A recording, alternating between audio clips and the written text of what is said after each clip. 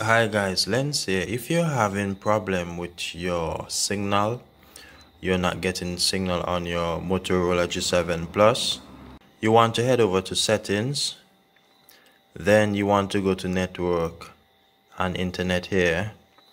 Then what you want to do you want to go to mobile network. You want to scroll down. Now you can see preferred network type right if your network provider is using 2G, 3G or 4G, you need to select which one your network provider is using. So if you find you're not getting signal, you will have to select them separate and you will have to search manually to find the network. So you go here, automatically select network. You want to take this off. This will search and as you can see we found the network there. Right? So again that's 2G if you want to do 3G as well we can do another search again. And uh, let's look. We found okay I'm losing focus there. So we found Flow here and we use Flow in the Caribbean guys so if we go 4G as well so Flow is currently using all of them. So in some cases you need to check which one your network provider is on. It can be in a different area strategically. So if you're not getting signal you'll have to check those settings.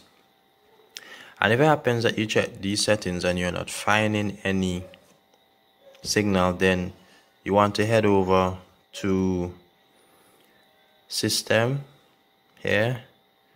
You want to go to advanced you want to go to reset options.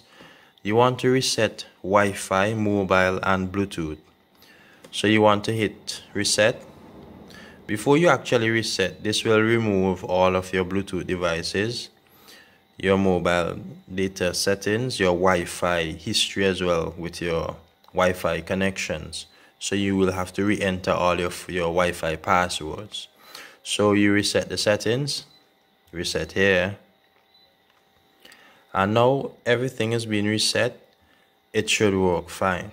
If you are not getting anything after doing this I am going to show you what to check to know if the hardware is bad for the signal. It can be an antenna it can be an IC problem.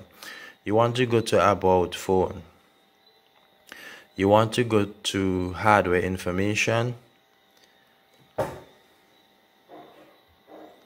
When you are in about phone here you want to scroll down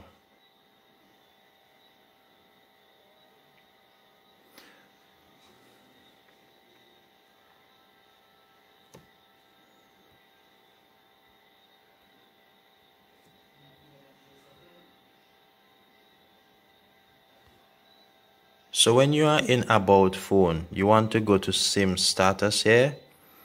When you click on it you will see that mobile network state is connected. This have to be connected and also it must say in service. So if there's an issue here there's a problem with your software or hardware and I recommend that you flash your phone system with the stock ROM to fix this issue. If the issue is not fixed, then this is a hardware problem.